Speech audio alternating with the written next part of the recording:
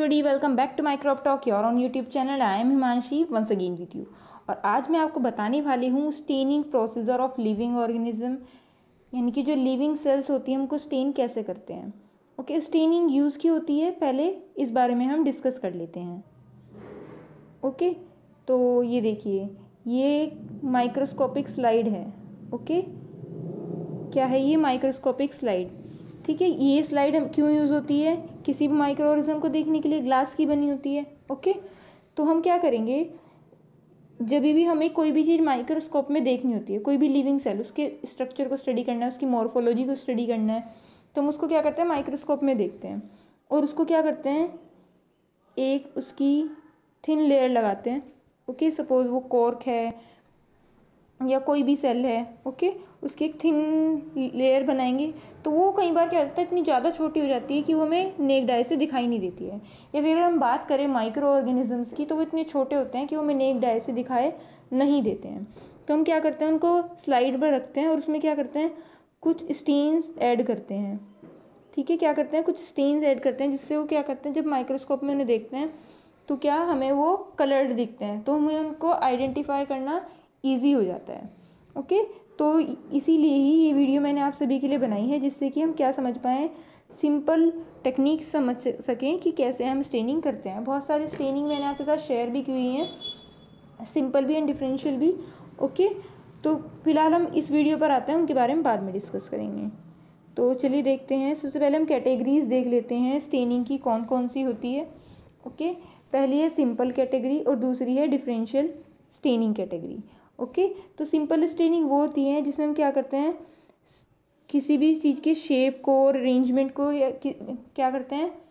देखते हैं, ओके? जैसे बैक्टीरियल सेल देख रहे हैं तो बैक्टीरियल सेल की कैसी शेप है, उसकी मॉर्फोलॉजी मतलब है ना? और कैसे वो अरेंज है? सपोज़ वो ऐसे दो तीन सेल आपस में अटैच्ड हैं, है ना? या फिर सिंगल है, या स्ट्रेप्टोकोकस में अरेंज है, या स्टेफाइलोकोकस में अरेंज है, ओके? ऐसे करके हम उनका अरेंजमेंट देख सकते हैं by the help of simple staining simple staining के जो प्रोसीजर है वो मैंने आपको पूरा डिफाइन किया हुआ है. सिंपल स्टेनिंग मैंने आपको बैक्टीरिया की करके दिखाई थी क्रिस्टल वॉयलेट से सफरेनिन पे और से और मैथिलीन ब्लू से. ओके और मैंने आपको इसका प्रिंसिपल भी अच्छे से बताया था. आप वहाँ से जा कर के देख सकते हैं. ओके दूसरा और क्या बताते हैं, बता सकते हैं? ये किस पे बेस्ड होते हैं? जो सिंपल स्टेन की अगर हम बात करें उसमें हम थ्री टाइप के स्टेन्स यूज़ कर सकते हैं बेसिक स्टेन्स ठीक है एसिडिक स्टेन और नेगेटिव स्टेन जो बेसिक स्टेन होते हैं, उनके एग्जांपल है मिथाइलिन ब्लू जिससे हमने बैक्टीरिया की नेगेटिव स्टेनिंग की थी सॉरी सिंपल स्टेनिंग की थी okay methylene blue crystal violet malachite green basic fuchsin carbol fuchsin और सेपरेन ये क्या है? सभी के सभी बेसिक सिंपल स्टेन है ओके इनका पर्पज़ क्या होता है? ये क्या करते हैं? स्टेन करते हैं ये जो स्टेन होते हैं इन पर नेगेटिव चार्ज होता है। कौन सा? नेगेटिव चार्ज होता है। ओके ये किस लिए यूज़ होती हैं इसी के साथ साथ जैसे कि न्यूक्लिक एसिड हो गया है ना? ये कि डीएनए वो कैसा होता है उस पर नेगेटिव चार्ज होता है। बैक्टीरिया की जो सेल वॉल होती है उस पर नेगेटिव चार्ज होता है। तो ये इसको स्टेन करती हैं और इसकी वजह से हमें क्या दिखता है? यस yes, कोई भी चीज़ दिखाई देती है। और आउटकम क्या मिलता है? हमें इसका पॉजिटिव स्टेन मिलता है। यहाँ पर मैंने कुछ सेल्स लगाई हुई हैं। ओके बेसिकली ये जो स्ट्रक्चर है मैंने नेट से लिया है कॉपीराइट फ्री इमेज ओके? तो ये क्या है? सिंपल इमेज है ओके? okay, जिसमें आप देख रहे हैं अरेंजमेंट आपको अच्छे से दिख रहे हैं। मैंने जिसका प्रोसीजर है पूरा कि कैसे करते हैं तीनों मेथड से दिखाए मैथाइलिन ब्लू से से सेफरिनिन से आप वहाँ से जा करके देख सकते हैं। नेक्स्ट आता है हमारा एसिडिक स्टेनिंग एसिडिक स्टेनिंग में का एग्ज़ाम्पल क्या है? जो स्पेसिफिक डाइस में यूज़ हो रही है वो है eosin acid fuchsin rose bengal and Congo green sorry Congo red okay purpose क्या होता है इसका? ये स्टेन पॉजिटिवली स्टेन करती है, ठीक है? मतलब जो स्टेन करती है पॉजिटिवली चार्ज मोलिक्यूल्स को, और क्या करती है?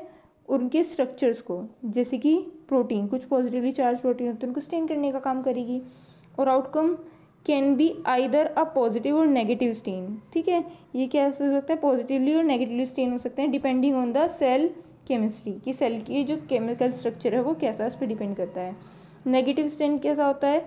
जैसे कि इंडिया इंक निग्रोसिन ये क्या है? दोनों के दोनों नेगेटिव स्टेन है।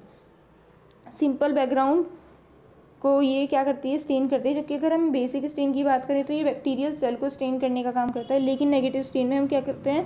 बैकग्राउंड को स्टेन करते हैं। जैसे कि आप यहाँ पर देख पा रहे हैं इस इमेज में, ये जो बैकग्राउंड है, ये आपको मरून कलर का दिख रहा है। लेकिन जो ऊपर बैक्टीरिया है वो किस कलर का दिख रहा है आपको? ऑफ़ वाइट पिंकिश सी शेड का दिख रहा है थोड़ा। ओके तो ये बैक्टीरियल सेल को इसने स्टेन नहीं किया है, लेकिन इसके बैकग्राउंड को स्टेन कर दिया है। ठीक है डार्क बैकग्राउंड हो जाता है तो क्या है? लाइट स्पेसिमेन हमें आराम से दिखाई देता है। तो ये था हमारा सिंपल स्टेनिंग टेक्निक के मेथड और इसके जोन जोन से हम क्या कर रहे हैं? स्पेसिफिक स्टेन्स यूज़ कर रहे हैं। नेक्स्ट हम आ जाते हैं अपने किस पर। ये जो हमारी, इससे पहले वाली स्लाइड थी जिसमें हम बता रहे थे कैटेगरीज ऑफ़ स्टेनिंग दूसरी टाइप की होती हैं डिफरेंशियल स्टेन इसमें हम क्या करते हैं? एक से ज़्यादा टाइप के स्टेन यूज़ करते हैं, दो, तीन, ठीक है? नॉर्मली दो स्टेन यूज़ किए जाते हैं। जैसे कि एक डिफरेंशियल स्टेनिंग मैंने आपको ग्राम स्टेनिंग करके भी दिखाई हुई है। ओके तो ये जो टेक्निक है, इसके अकॉर्डिंग जो डिफरेंशियल स्टेनिंग होते हैं, इसमें हम किसी भी सेल को सेम कलर में क्या करते हैं? स्टेन नहीं करते हैं। ठीक है? क्योंकि डिफरेंशियल स्टेन है तो सेल को स्टेन में के बाद जो कलर दिखाई देगा, उसके बेस पर हम क्या करते हैं? कैटेगरीज में डिवाइड करते हैं। जैसे कि सेपरेशन इनटू ग्रुप और विजुअलाइजेशन के बेस पे। जिस सेपरेशन इनटू ग्रुप में कौन सी आगी ग्राम स्टेनिंग होगी जो मैंने करके दिखाई हुई है, आपको लिंक मिल जाएगा। और आप प्लेलिस्ट में जा कर के देख सकते हैं।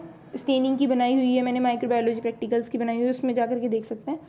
जो ग्राम स्टेनिंग है, उसके अकॉर्डिंग हम जो डिफरेंशियल स्टेन है, उसको टू कैटेगरीज में कैटेगराइज करते हैं। Gram positive and gram negative ये पॉजिटिव हो गए and then gram negative okay फिर एसिड फास्ट बैक्टीरिया भी एसिड फास्ट बैक्टीरिया में डिवाइड होता है नॉन एसिड फास्ट बैक्टीरिया में डिवाइड होता है। देन विजुअलाइजेशन की बेस पे हम क्या स्टेन करते हैं? फ्लैजिला को स्टेन कर सकते हैं कैप्सूल को स्टेन कर सकते हैं स्पोर को स्टेन करते हैं न्यूक्लियर स्टेन जो न्यूक्लियर पार्ट होता है, यानी कि डीएनए पार्ट होता है, उसको भी स्टेन कर सकते हैं। इसमें क्या होगा, जो ये, जैसे कि अगर मैं बात करूँ कि फ्लैजिला है, ये क्या है, मेरी बैक्टीरियल सेल है, और इसमें यहाँ पर क्या है फ्लैजिला है। तो आपको सिर्फ़ क्या दिखाई देगी, ये जो फ्लैजिला है, सिर्फ़ यही स्टेन होकर दिखाई देगी। ओके तो आप इजीली पता कर पाएँगे कि जो बैक्टीरिया सेल का फ्लैजिलर अरेंजमेंट है, वो किस तरीके का है। जैसे कई बार क्या होता है फ्लैजिला एक ही साइड में होती है। ठीक है, क्या है, बस एक ही साइड में कई बार क्या हो सकती है भी साइड में प्रेजेंट हो सकती है।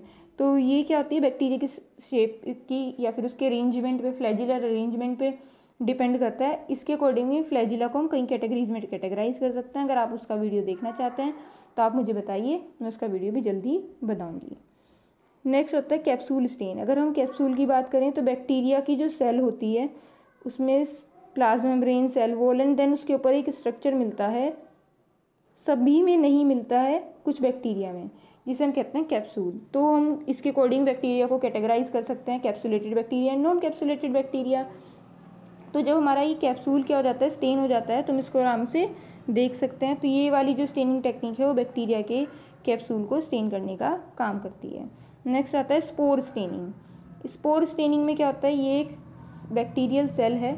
तो इसके अंदर क्या होता है कभी कभी जब हम कहें कि एक्सट्रीम कंडीशन आएँगी तो बैक्टीरिया एक स्ट्रक्चर बियर करता है, जिसे हम कहते हैं एंडोस्पोर ठीक है? तो इस कंडीशन में क्या होता है? हमें जो बाहर वाला पोर्शन होता है बैक्टीरिया का, वो तो अलग कलर से दिखाई देगा, और जो ये अंदर वाला पोर्शन है, वो अलग कलर से दिखाई देता है। तो इससे हम आइडेंटिफाई कर सकते हैं कि बैक्टीरिया स्पोर बियरिंग है या नॉन स्पोर बियरिंग है। नेक्स्ट होता है न्यूक्लियर स्टेनिंग इससे जो बैक्टीरिया ये बैक्टीरियल सेल है हमारी, और इसमें जो जेनेटिक मटीरियल है ओके यानी कि न्यूक्लियोइड या न्यूक्लियर स्ट्रक्चर हम इसको बोलेंगे, ये क्या होता है? ये अलग कलर से हमें दिखाई देता है। तो ये कैसा हो जाएगा? और जो इसकी बाहर वाली सेल है, ये बिल्कुल सेपरेट दिखती है। तो इससे हमें पता चल जाता है कि ये जो न्यूक्लियोइड है इसका, यानी कि जो डीएनए है, उसको हम अलग से देख सकते हैं। ठीक है?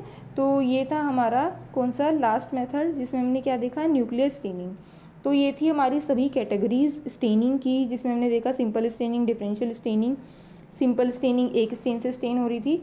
मतलब सिर्फ़ एक ही टाइप के स्टेन का यूज़ कर रहे थे, लेकिन डिफरेंशियल स्टेनिंग में हम एक से ज़्यादा स्टेन्स का यूज़ करते हैं। तो ये था हमारा छोटा सा वीडियो वो स्टेनिंग टेक्निक आई होप ये वीडियो आपके लिए हेल्पफुल रहा होगा। आज मेरे पास टाइम थोड़ा कम था, इसलिए मैंने क्या किया, आप लोगों के लिए हैंड से चार्ट बनाया तो हो सकता है आपको थोड़ा प्रॉब्लम हुई उसकी वजह से। ओके सो आज के वीडियो में बस इतना ही। आई होप कि वीडियो आपको पसंद आएगा if you like this video then hit like button and also don't forget to share it with your friends and also subscribe this channel and hit bell icon और अगर आपकी अभी भी कोई क्वेरी है so you can clear it in comment section thanks for watching